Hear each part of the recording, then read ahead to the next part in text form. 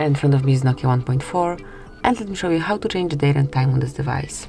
So at first enroll the list of all apps and go to settings, then find and select system, go to date and time then, and here you can smoothly uh, use network provided time or you can switch it off and now set date.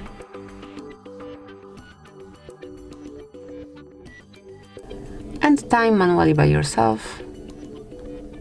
As you can see from now on it's up to your date and time it currently is and it's just the same with the time zone so here you can turn it on or off and then pick the time zone.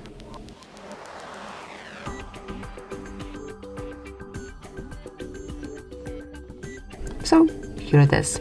And that would be all. Whenever you would like to go back to automatic setup, just mark those switchers and then date and time would be set up automatically.